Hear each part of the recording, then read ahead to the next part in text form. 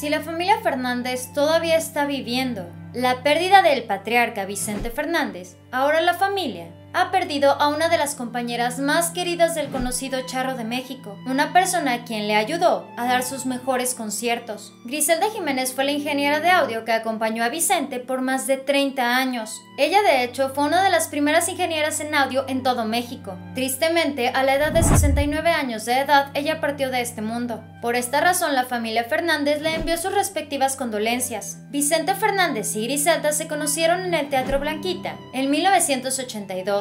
Se dice que fue el mismo Vicente quien le propuso a Jiménez que fuese a trabajar con él. Así comenzó una labor en equipo que duró más de 30 años. Si bien a lo largo de la vida del conocido Charro de México, él fue señalado como un hombre que únicamente quería tener hombres a su lado y las mujeres tenían un puesto más sumiso. Para Griselda Jiménez, Vicente no solamente fue su jefe, sino también la gran oportunidad de abrirse paso en una industria que estaba liderada únicamente por hombres. A través de su Twitter, la cuenta Lalo ORM escribió unas bellas palabras para Griselda, las cuales dicen lo siguiente. Me acabo de enterar que nuestra querida Grise, la gorda, soy el día de hoy.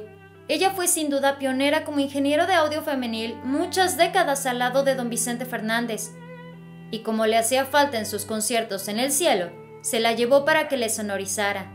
Te vamos a extrañar, Grise. Descansa en paz, gorda. La familia Fernández aún está viendo qué productora hará la bioserie de Don Vicente Fernández. Al parecer, según algunos medios de comunicación, los integrantes de la dinastía ya tomaron su última decisión. Tras la pérdida de Vicente Fernández, varias productoras estuvieron interesadas en realizar la serie del conocido Charro de Huentitán. De acuerdo con la revista TV y Novelas, la familia de Vicente Fernández optó por la propuesta que le ofreció el gigante de Netflix. Desde que Vicente partió de este mundo el pasado 12 de diciembre, varias productoras mostraron su interés por retratar la vida de Vicente Fernández. Muchos querían hacer una serie que marcara la gran trayectoria y vida del cantante. Antes de que Vicente partiera de este mundo, se había revelado que Jaime Camil protagonizaría una de estas series. El proyecto se encuentra producido por Dago García. Sin embargo, la televisora de San Ángel también mostró su interés y por su parte están haciendo una serie que aunque ya se encontraba en negociaciones con la familia, parece que ellos mejor decidieron tomar la propuesta de Netflix. Una gran polémica que también sucedió fue que la televisora de San Ángel, junto con Univision, revelaron